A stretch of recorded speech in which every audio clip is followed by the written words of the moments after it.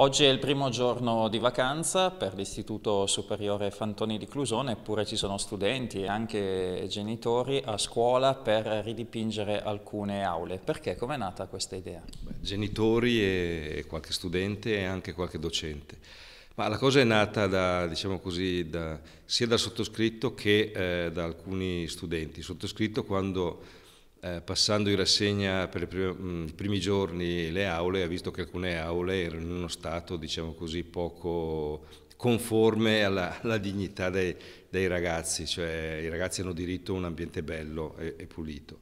Ehm, e eh, poi una classe mi si è rivolta una volta a me chiedendo ma noi non possiamo dare una mano a sistemare allora la cosa l'ho, rilanciata sia ai genitori che, che agli studenti e, e, molti si sono fatti avanti, per cui adesso una trentina di persone sta iniziando a... cioè in realtà abbiamo già iniziato in occasione dell'Open Day, perché col personale interno abbiamo cominciato a rintinteggiare i corridoi, gli ambienti di, mh, comuni ed ora cominciamo con, le, con gli altri piani e con le aule. Si lavora dunque durante le vacanze natalizie, poi si continuerà sì, sì, si continuerà adesso durante le vacanze faremo penso una decina di aule, eh, i corridoi e poi, durante, poi proseguiremo durante l'anno. L'obiettivo è quello di eh, ritinteggiare un po' tutto l'istituto.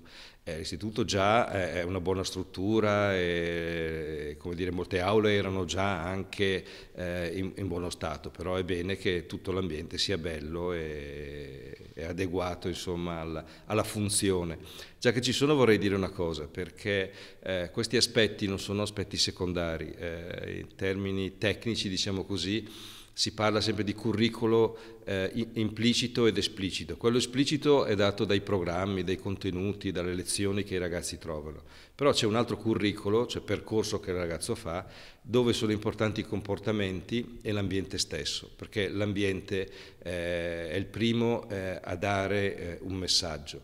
Quindi una struttura eh, ordinata e, eh, e bella eh, induce i ragazzi a comportarsi ed assumersi una responsabilità. E poi la, la cosa veramente per cui, cui, che vale la pena sottolineare è la, la, dire, la risposta che hanno dato tutti, eh, quindi dai genitori innanzitutto, gli studenti, ma anche qualche docente, per cui è la stessa comunità che si fa carico di, di questo fatto, è la comunità che diventa educante, che, che, che si fa carico dell'educazione. Eh, ne approfitto allora per fare gli auguri di buon Natale e di felice anno nuovo a, ai genitori, anche agli insegnanti e a tutti i ragazzi. Grazie.